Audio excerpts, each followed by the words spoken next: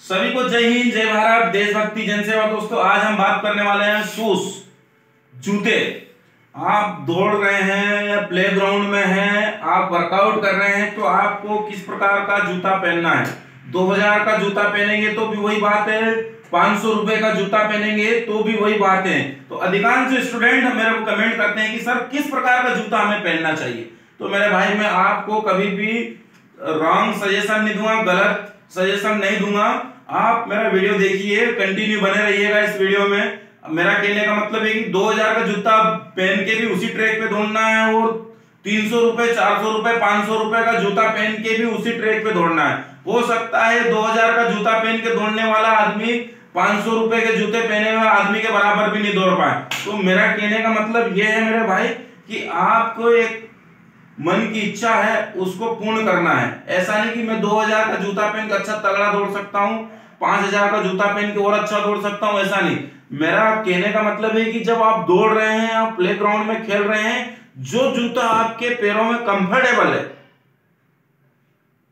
जो जूता आपके पैरों में अच्छा व्यवस्थित पहना हुआ है, उस जूते को आपको पहन के आप अच्छे से दौड़ सकते हैं। अधिकांश जो 99 परसेंट जो स्टूडेंट इंडियन आर्मी वगैरह की तैयारी कर रहे हैं। आज अधिकांश बच्चे जो पहनते हैं वो जूता, अधिकांश जो 99 परसेंट बच्चों के पास जूता रहता है साढ़े चार सौ, पाँच सौ, छह सौ, साढ़े छह सौ, सात सौ, आठ सौ, आखिरी से नौ सौ रुपए तक का रहता है। और वही लड़के अच्छा तगड़ा दौड़ते हैं और बढ़िया इंडियन आर्मी की तैयारी करते हैं। बाकी जो जूता होता है कंफर्टेबल के अलावा जो जैसे महँगा कॉस्टली जूता होता है तो वो लोग मेरे को बहुत कम ऐसे देखे होंगे कि इंडियन आर्मी की तैयारी कर रहा है और उसने 2000 के जूते पहन रखे 3000 के जूते पहन रखे। तो मेरा कहने का मतलब ये है दोस्तों कि आपको सजेस्ट ये कर रहा हूँ कि आप इंडियन आर्मी की तैयारी कर रहे हैं। तो आप ऐसा जूता पहने जो अच्छा मज़बूत हो, आपके पैरों को अच्छा पकड़ के रखे, आप दौड़े तो आप उस उस समय आपको कोई समस्या नहीं हो और आप दौड़ आप आसानी से पूरी कर सकते हो। तो ऐसे बहुत सारे जूते हैं, जैसे अधिकांश जो आज लेटेस्ट चल रहा है सेगा का। जो सेगा का जूता अधिकांश जो आप देखेंगे तो हर आदमी के पास लगभग दौड़ने वालों के पास मिल जाते हैं। तो ज़्यादा कॉस्टली भी नहीं है और अच्छा बढ़िया जूता है, जिसको पहन के आराम से आदमी दौड़ रहा है। तो आप ऐसा जूता, आपको ये नहीं सोचना है कि सर मेरे को कौन सा जूता पहनूं क्या करूँ? भाई, आपके पैर कौन सा जूता पहन के दौड़ना पसंद कर रहे हैं? हो सकता है बहुत सारे को सेगा के जूते पसंद नहीं हो, अन्य कंपनी के। तो जैसे फेंटा के हैं अन्य जैसे और भी हैं, जैसे लखानी वगैरह तो वो जूते पसंद। कि आपके पैर में अगर पहने, आपने पिछली बार पहना मत कि यार मेरे को तो गोल्ड स्टार का जम गया था। तो भाई, आपके पैरों में यदि गोल्ड स्टार का शूट हो रहा है तो आप उसको पहन के दौड़िए।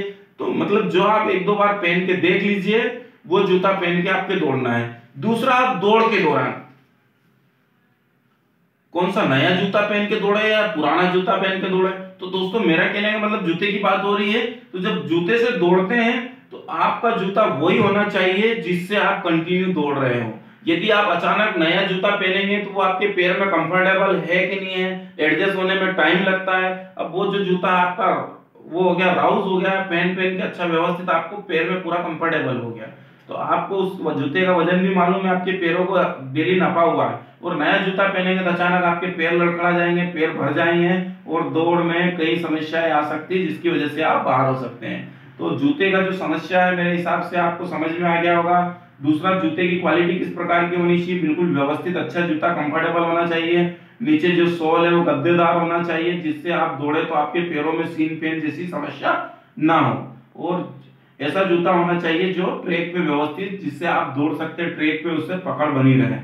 तो मैं आशा करता हूँ कि जो जो जूते की जो आपकी समस्या है, वो खत्म हो गई होगी और नहीं हुई हो तो बेहचक मुझे कमेंट कर दीजिए। मैं आपके कमेंट का जवाब देने के लिए बिल्कुल तगड़ा बैठा हूँ, फ्री बैठा हूँ। सभी को जय हिंद, जय भारत, देशभक्ति, जन जनसेवा